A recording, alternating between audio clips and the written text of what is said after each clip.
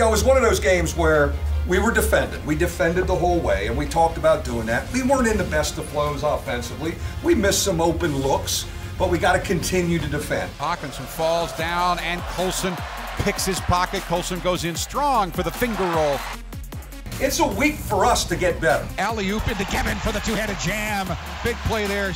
We put these jerseys on, man.